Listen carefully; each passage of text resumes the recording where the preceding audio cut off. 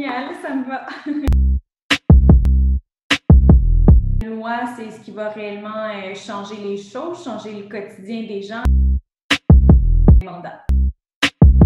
Comité parlementaire, c'est assez intéressant, euh, mais séance publique, euh, c'est là où encore une fois, on a un contact privilégié avec les gens de chez nous, donc séance publique.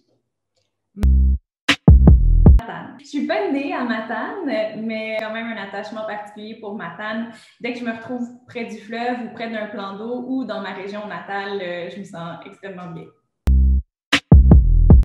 Tout est possible aujourd'hui.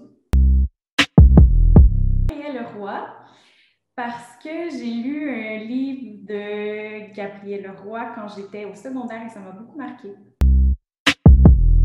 Poignées de main dauphinois, définitivement. Je suis végétarienne, alors euh, tout ce qui est légumes va me plaire davantage. Je dirais un bon équilibre entre les deux, donc intergénérationnel.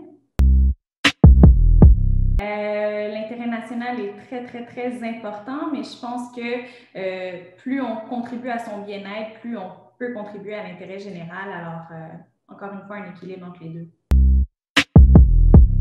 Bien, définitivement national. C'est pratique le télétravail, mais euh, on s'ennuie de voir euh, des vrais humains.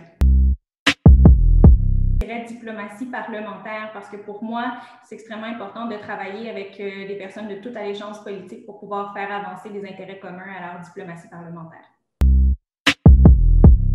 journée internationale du parlementarisme, je souhaite qu'on élimine le cynisme dans la population en général, qu'on démontre à quel point euh, le parlementarisme, le travail politique est important et qu'on peut le faire de manière extrêmement positive.